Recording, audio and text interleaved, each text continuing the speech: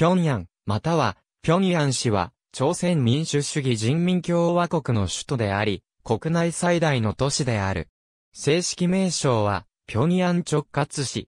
朝鮮八道では、平安道、十三道制では、平安南道に属するが、同国の行政区画においては道に属さず、道級の直轄市となっている。日本統治時代の行政区分は、平壌府。平壌市平壌準平原に位置し、北と東と、西は、平安南道、南は、公海北道に接する。北朝鮮の政治と経済の中心地であり、軽工業、重工業など工業が盛んである。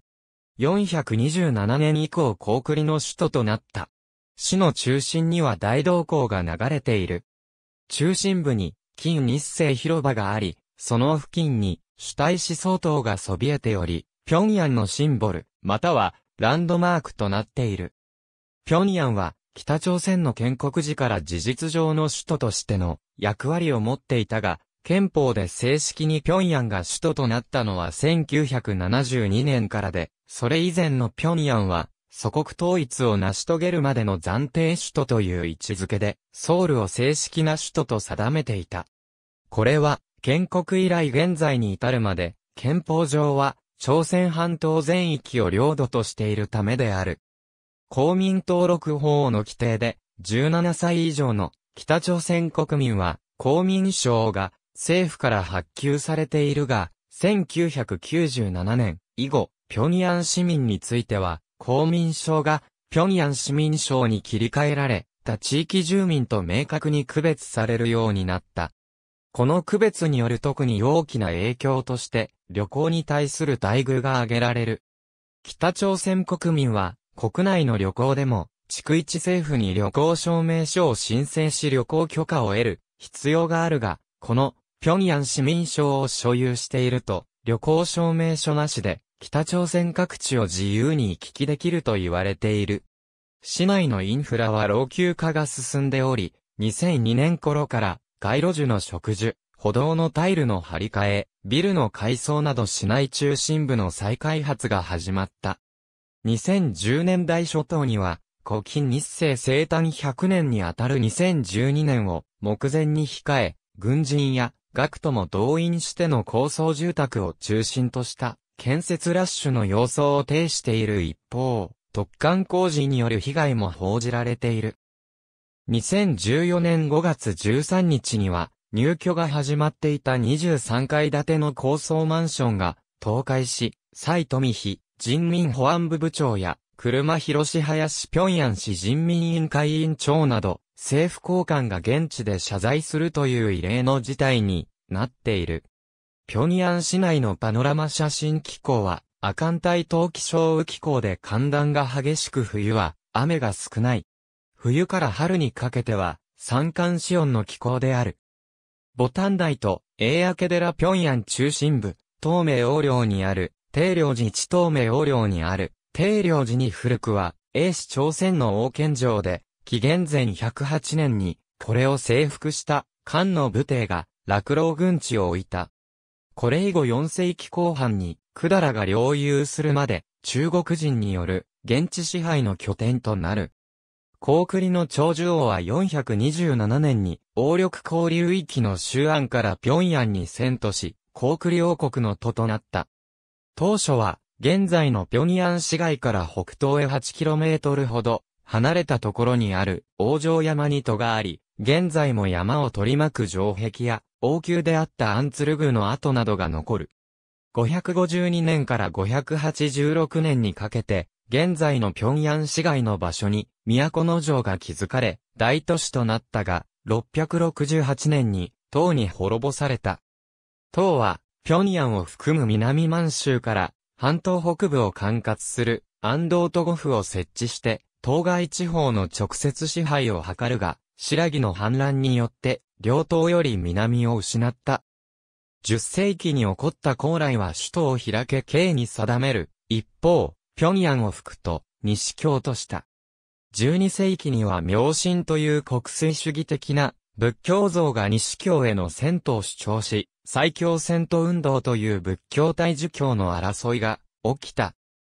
明星は、風水説の混合した高麗仏教に基づき、風水的に弱くなったために、内乱で破壊された、平木慶から、高栗の首都であり、風水も良い最強に首都を移し、金に戦いを挑んで、高栗の給料度の回復の拠点とすることを掲げたが、時代主義的な樹下の反発で、戦闘案は葬られ王の支持が得られなかった。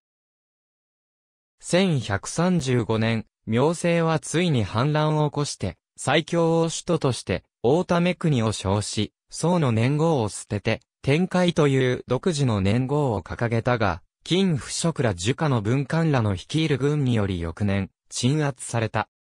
1269年には最強を治めていた。蔡広氏らが反乱を起こし、最強を含めた北海54条と西海道の自費霊以北の6条を率いて、元に帰依する事件が起きた。元は最強を療養行省に属する、東安支府と改名して領土に編入した。東安支府は同じく元領となった総城総監府と共に高麗と分立したが、元の直接支配強化により1290年に、東安支府は、高麗行省と統合され共に、元の直接支配地域となった。東安支府は、元末期に、再び設置されたという記録もある。李氏朝鮮時代には平壌は、平安道の首優となった。文録の役では、日本軍が平壌にまで達している。18世紀には、作法大聖火の清との往来の中で、北京にいた、キリスト教宣教師から、キリスト教が、朝鮮の官僚に伝わり、平安道は、キリスト教徒が増加した。しかし、18世紀末には大規模なキリスト教、都弾圧が起こった。また、外国勢力が、朝鮮周囲に現れ、平壌では大動向を遡ってきた、米国船を官民が焼き討ちする、ジェネラルシャーマン号事件が起こっている。日清戦争では、平壌城は、平壌の戦いの舞台となった。李朝末期の1896年に、平安道が分割されて、平安南道の首流となっている。日本統治時代には、1910年に、平壌軍は、平壌府となり、平安南道の道庁所在地となった。この頃路面電車の軌道などが整備された。1913年に、平壌神社が鎮座した。また平壌神学校など、キリスト教の神学校や教会が設立され、キリスト教徒の人口に対する割合も増加した。平壌は、報道関係者から、東洋のエルサレムと呼ばれるほどに、朝鮮のキリスト教布教の中心地となった。現在の韓国のキリスト教徒には、朝鮮戦争の前後に、韓国側へ移住した平壌出身者もいる。1931年には朝鮮廃花事件が起き、平壌で最も多くの中国人犠牲者が出た。主体思想等から見た、近日清広場と平壌中心部1945年に、ソビエト連邦軍が北緯38度線以北を占領すると、ソ連軍政の中心地となり、1946年に行政機関である、平壌市人民委員会が設置され、1948年の朝鮮民主主義人民共和国成立により、事実上の首都となった。